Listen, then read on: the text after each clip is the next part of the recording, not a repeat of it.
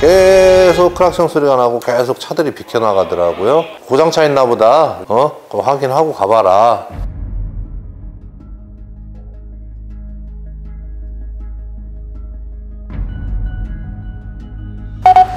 여기 운전자 의식이 없으니까 구급차 좀 빨리 불러주세요.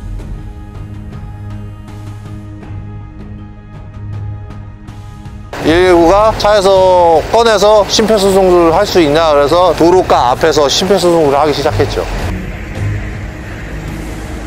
아저씨.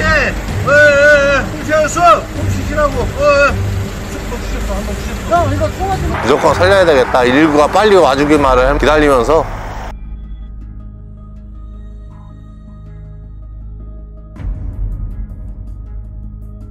많이 호전되셨다고 퇴원하시면은 그때 사무실 꼭 들려주시겠다고 어, 감사하다는 말씀 전해주셨습니다.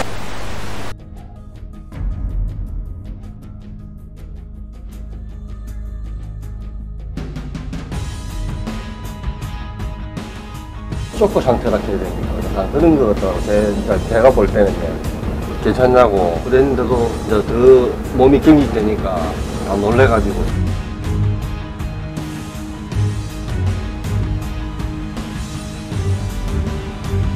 작년에 우리가 회사에서 안전교육대 그 심폐소생술 교육을 받아가지고 살리고 봐야 되겠다는 생각이 먼저 들어가지고 하게 됐습니다.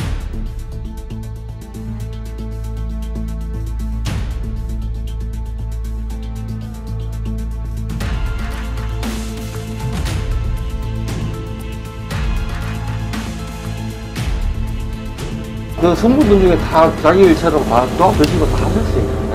일단 119 전해주신 분, 또 쓰러지신 분, 마사지 해주신 분, 또물 1.5리터 사다 주신 분, 다 같이 이제 살린 거니까.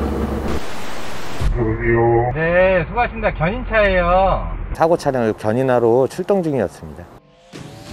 그 GV80 거기 있나요? 아, 네, 저희 마당에 있습니다. 아, 그래요? 잠깐만요. 제가 전화 드릴게요. 누구 사람이 쓰러져서 잠깐만요.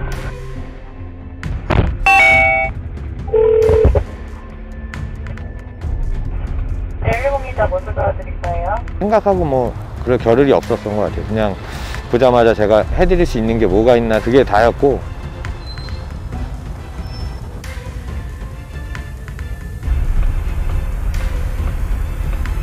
호흡이 딱 돌아오는 거 보자마자 저도 뭐 안도가 되더라고요. 아 살렸나 보구나 그 생각밖에 안. 한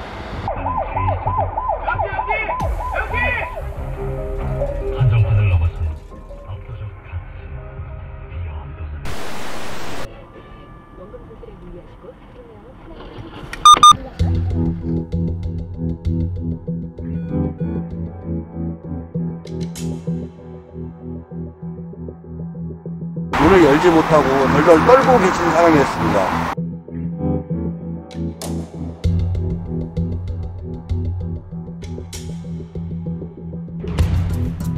그 안에 이제 화물카라고 운전석하고 가운데 칸막이가 있어요.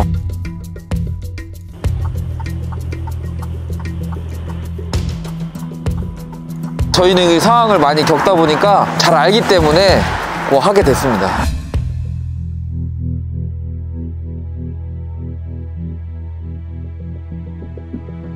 현장에 도착했던 구급대원이나 구제대원들이 왜 여기 계시요 그런 그런 얘기 있죠. 운전자분을 인수인계할 때 헐펴냈죠.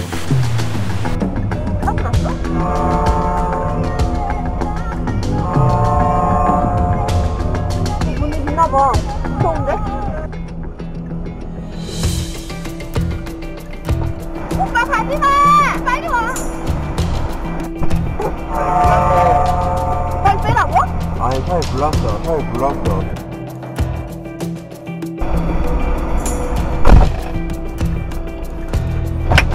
나 가서 두고 올게. 안돼 안돼 아니, 소화전 있어, 여기. 안해 안해 그냥 가 필요 없어. 아, 싫어 싫어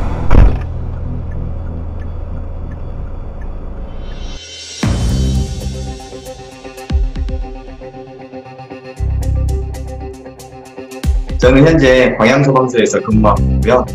어, 구조 업무를 수행하고 있는 소방장 장남직이라고 합니다. 그때 당시에는 비번이었기 때문에 개인 안전장비도 없었고요. 다행히 확인해본 결과 철근을 실어 나르는 트레일러 차량이었어요.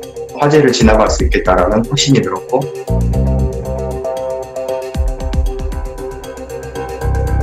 10분 정도 지나니까 주변에 있는 어, 시민분들께서도 용기를 내서 같이 화재를 진압해 주신 상황이고요.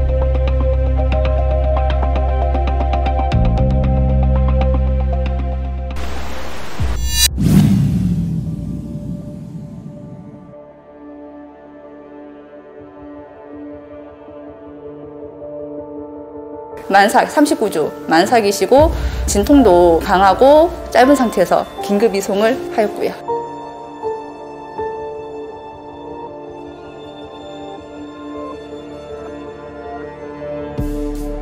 애가 나올 정도로 배가 아팠어요. 밑으로 막 뭐가 막 내려오는 느낌?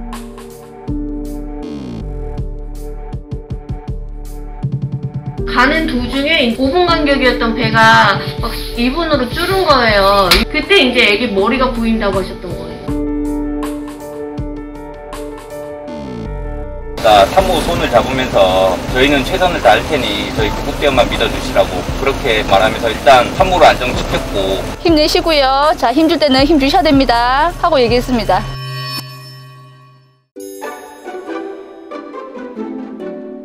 대부분 생명이 꺼져가는 경우를 저희가 살리려고 노력하는데 생명이 태어난 경우는 이번이 처음이었습니다. 발 여기 있고요.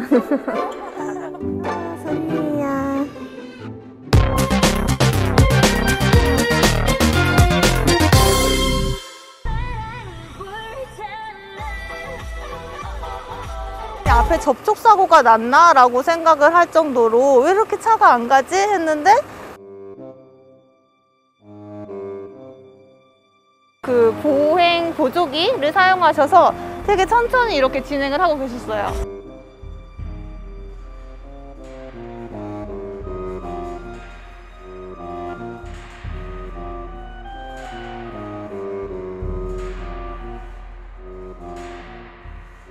할아버지께서 지나가고 난 다음에 그 앞차 운전자께서 차에서 내리시더라고요. 저는 저한테 뭐라고 하시려고 내리시는 줄 알고 왜 내리지라고 전혀 상상도 못 했는데